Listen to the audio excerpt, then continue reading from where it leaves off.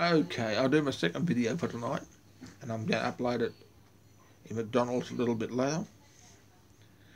Now it's 2000, 8 o'clock at night. On the same night, the 16th of July 2015, I'll talk about another issue. Agenda 21 is going to bring GPS on all private vehicles. That is happening already in the States. In Revelation chapter 13, verse 16 17, it talks about the mark of the beast.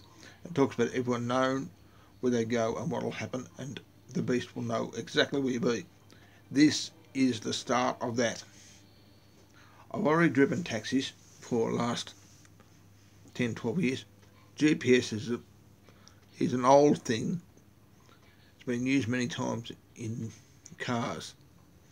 To put it in private vehicles, no hassle at all back straight away like that. Taxis already have it, buses have it, police cars have it, ambulances have it, any service car has it. So all it is a matter of legis legislation to be passed, not technology developed. Technology is already here. So three quarters of the things are done. It's going to happen time is getting like 1984, written 1948 by George Orwell.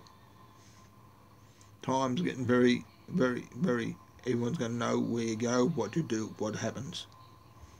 Same as the bank and cash are going. So will tracking of cars. So will we'll even might even carry eventually personal GPSs on us. And I believe myself, a chip in the head and a chip in the forehead and a chip in the hands will be personal GPS. So the government will know everywhere you go and what you do times are getting to a stage where it's going to be quite difficult for all.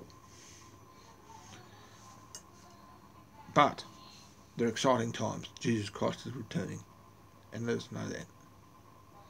That's why we have to be one of the five wise virgins in Matthew chapter 25. I'll leave it at that. Thank you very much for listening. John, yours, John.